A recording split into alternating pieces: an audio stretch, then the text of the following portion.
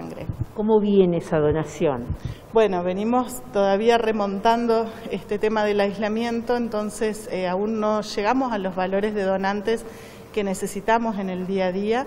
Por eso invitamos a la población a acercarse al banco de sangre y acercarse también a una colecta que vamos a hacer el día martes 10 en el Club Neuquén de 7 a 11 de la mañana justamente para reforzar estas acciones y dar oportunidad a la gente que si por ahí no se acerca a la institución sanitaria lo pueda hacer a la colecta.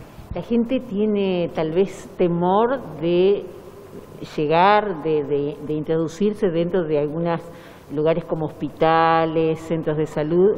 ¿Se, se deberá a eso que la gente no concurre? Pensamos que es una opción entonces, eh, llevar tranquilidad, que si la gente decide donar acá en el hospital, que se quede tranquila, el acceso al banco de sangre es directo por la entrada de calle Pascual Palma. Eh, la sala de espera mantiene las condiciones de distanciamiento y la sala de extracciones también. Por supuesto, la higiene de los sillones que se utilizan entre donante y donante y todos los elementos de protección personal que cuenta eh, nuestro personal para atenderlos. Aunque parezca una pregunta obvia, ¿quiénes pueden donar sangre? Bueno, no, es importante. Las personas que tengan entre 18 y 65 años, que, estén, eh, que se sientan bien de salud, que pesen más de 50 kilos y por supuesto traer el DNI y un desayuno liviano que no contenga lácteos.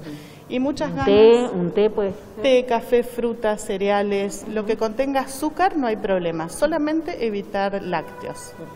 Bueno, eh, la, persona, por ejemplo, que ha tenido COVID, ¿puede, puede donar? Sí, pasados 30 días eh, de su alta, puede ser donante de sangre, por supuesto que sí, y si no, si ha tenido COVID, también puede consultar para donar plasma. ¿Qué pasa cuando no hay donaciones? Y se nos complica a todos. Eh. ¿Qué cosas complican, Pueden pararse, frenarse cirugías o tratamientos médicos que son vitales para, para continuar, por ejemplo, tratamientos oncohematológicos que dependen en muchos casos de componentes sanguíneos para el soporte de ese tratamiento.